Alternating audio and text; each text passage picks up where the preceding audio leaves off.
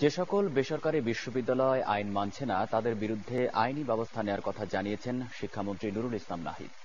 কৃষিবিদ ইনস্টিটিউশন মিলনায়তনে ঢাকা ইন্টারন্যাশনাল ইউনিভার্সিটির পঞ্চম সমাবর্তনে অংশ নিয়ে একথা জানান শিক্ষামন্ত্রী নুরুল ইসলাম নাহিদ। অনেক বেসরকারি বিশ্ববিদ্যালয় পরিচালনার পরিবেশ ও নির্ধারিত শর্ত পূরণ করতে ব্যর্থ হয়েছে বলেও জানান তিনি। এছাড়া বেশ কিছু বেসরকারি বিশ্ববিদ্যালয়কে চাপে রেখেও স্থায়ী ক্যাম্পাসে স্থানান্তর করা যাচ্ছে না বলেও অভিযোগ করেন নুরুল ইসলাম নাহিদ। ওইসব বিশ্ববিদ্যালয় এভাবে বেশি দিন চলতে পারবে না বলেও জানিয়ে দেন শিক্ষামন্ত্রী। এছাড়া বেসরকারি বিশ্ববিদ্যালয়গুলোকে শুধুমাত্র মুনাফার লক্ষ্য নিয়ে না চলারও আহ্বান জানান তিনি।